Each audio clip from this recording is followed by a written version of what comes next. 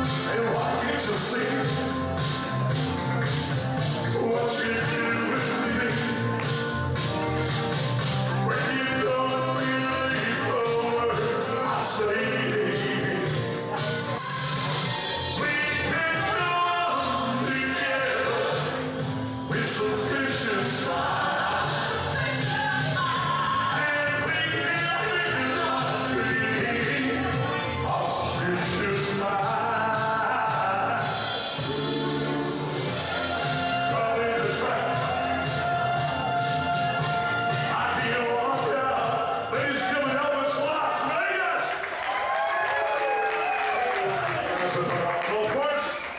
What would be Elvis Presley without his big signature song of the city, which was entitled Viva Las Vegas?